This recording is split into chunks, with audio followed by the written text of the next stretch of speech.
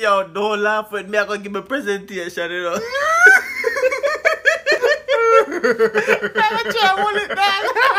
Yo, serious, bro. You know, if you laugh, you're gonna make me laugh too, me gonna get zero, know So what don't he's laugh saying. at me. White No, no, River no. Struckleton, can you in, please come give your presentation right now? Good afternoon, class. Um, White River, the classroom is this way. My bad. Alright, today we will be speaking. Today we will be. Today we will be speaking about why is our future important. Sir, could you please look at the classroom when you're giving the presentation? Alright. Our future